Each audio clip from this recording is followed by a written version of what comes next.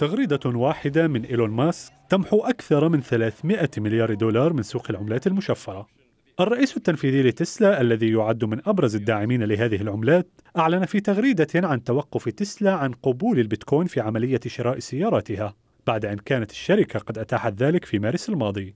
ماسك أرجع قراره إلى الأضرار البيئية الناجمة عن عمليات تعدين البيتكوين والتي يجري فيها استهلاك كمية كبيرة من الكهرباء ينتج معظمها من الوقود الأحفوري وتحديدا من الفحم أكبر مصادر الانبعاثات.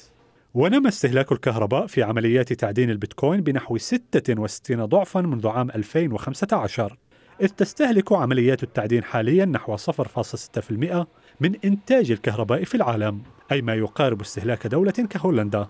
وفي الوقت الراهن يبدو من الصعب الاعتماد على الطاقة النظيفة في تعدين البيتكوين إذ يتركز نحو 70% من عمليات التعدين في الصين. التي يشكل الفحم المصدر الرئيسي لتوليد الكهرباء فيها.